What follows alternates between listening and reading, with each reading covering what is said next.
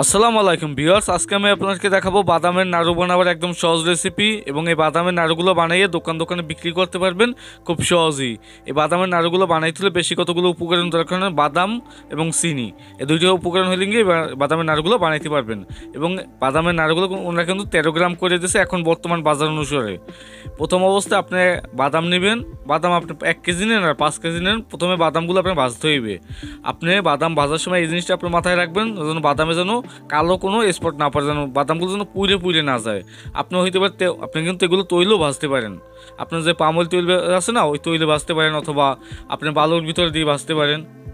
এবার বাদামগুলো যখন ভাজবেন, ভাজার পরে যখন দেখবেন ডলা দিয়ে দেখবেন ছোলাগুলো উঠে যাইতেছে অথবা খাইয়ে দেখতে পারেন যে বাদামগুলো হয়েছে কি না বাদামগুলো ভাজা কোনো জটিল কোনো কাজ না। এরপর বাদামগুলো আপনারা ভাঙিয়ে নেবেন। আপনারা যে বেলুন আছে, বেলুন দিয়ে পিষে নেবেন। পিষে মানে দু- মানে এক একটা বাদাম রে মানে দুই ভাগ করে মানে ভাগ করবেন।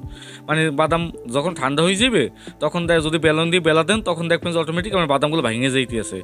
এবং বাদামগুলো কিন্তু অনেক পরিষ্কার হয়ে যাবে আপনাদেরকে দিয়ে দেখাইতেছি।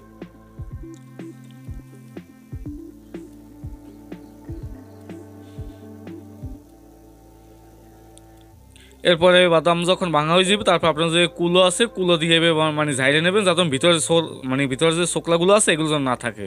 তাহলে বাদামটা মানে পরিষ্কার হয়ে যাবে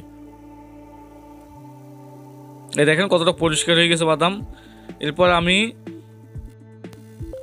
এখানে চিনি ব্যবহার করছি দুইশো পঞ্চাশ গ্রাম।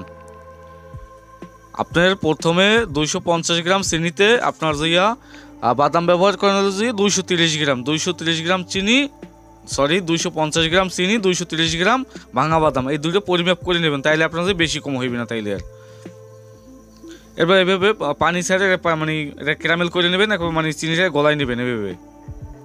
এবং আগুনটাকে মিডিয়াম টু লো হিটে রাখবেন। দেখেন এবার কিন্তু কালার এসে গেছে, এখন মানে আমি এর ভিতরে বাদামগুলো সাইডে দেবো। বাদাম ভাজার সময় আপনার বাদামটা যতটা পরিষ্কার থাকবে, কিন্তু আপনার বাদামের নাড়াগুলো কিন্তু অতটাই পরিষ্কার দেখতে হইবে। অনেক ভালো লাগবে কিন্তু দেখতে আর যদি পুড়ে পুড়ে যায়, তাহলে কিন্তু দেখতে অতটা ভালো লাগবে না। এরপর যে আপনি পরে যখন একটু ঠান্ডা ঠান্ডা হইবে, এরপর মানে পরিমাপ প্রথম অবস্থা আপনি পরিমাপ করে নেবেন আপনি দশ গ্রাম দেন আর বারো গ্রাম দেন। এবার পরিমাপ করে পরে তারপর যে গোল করে নাড়ু বানাইবেন।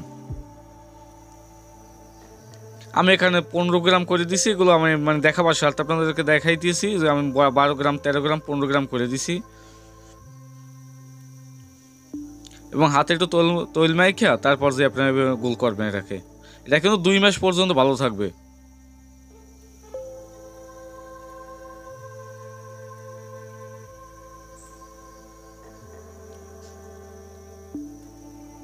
আর এটার ভিতরে কিন্তু যখন আপনি যে চিনিটাকে গলাইবেন, তখন কিন্তু এটার ভিতরে একটু জিরে ব্যবহার করতে পারেন। অল্প একটু জিরে ব্যবহার করলে ভালো একটা সেন্ট আসবে। আর এরপর যে আপনার যদি যদি, আপনার যদি কড়াইতে আপনার বাদামের নাড়ুগুলো মানে বাদামের যে ইরি আছে মানে মিঠাইগুলো, ওগুলো যদি জমাট বাইতে যায় তাহলে যদি আপনি যদি দেখেন যে এগুলো উঠানো যায় না তাহলে কিন্তু চুলাটা, চুলার উপরে আটটু গরম দেবেন। গরম দিলে গিয়ে কিন্তু আবার ওইগুলো উঠে যাইবে সাথে সাথে। এই দেখেন এই আমি আপনার উঠে দিয়ে দেখাইতেছি। এগুলো কিন্তু শক্ত হয়ে গেছিল। এই দেখেন সাথে সাথে উঠে যাইতেছে। এগুলো উঠেই আবার মানে বাদামের নাড়ু বানিয়ে গেলে সাথে সাথে। আপনার একটুকু কিন্তু অপচয় হইবে না এখান থেকে। আর এগুলো প্লাস্টিকের জার, যেগুলো যে ভরবেন, যে প্লাস্টিকের জার এগুলো কিন্তু ঢাকা চক বাজারে অ্যাভেলেবেল পাওয়া যায়। আর তাছাড়া ইউটিউবে সার্চ দিয়ে দেখতে পারেন। এগুলো আপনি চল্লিশ পিসের একটা জার করতে পারেন বা পঁচিশ পিস করেন বা আপনার ইচ্ছে মতো আপনি করতে পারেন। আমি এখানে, এটার ভিতরে আমি পঁচিশ পিস বলছি আমার মানে মানে ডিবাটা কমপ্লিট হয় নাই কিন্তু। পঁচিশ পিস আমি পাঁচ টাকা সাইজ করছি। আপনারা ইয়া তিন টাকা, বিশ পয়সা, ষাট পয়সা এইভাবে করে পাইকারি দিবেন, এরপর ওনারা এই দোকানে সেই চার টাকা, তিন টাকা, আশি পয়সা, নব্বই পয়সা এইভাবে নিয়ে বিক্রি করবে।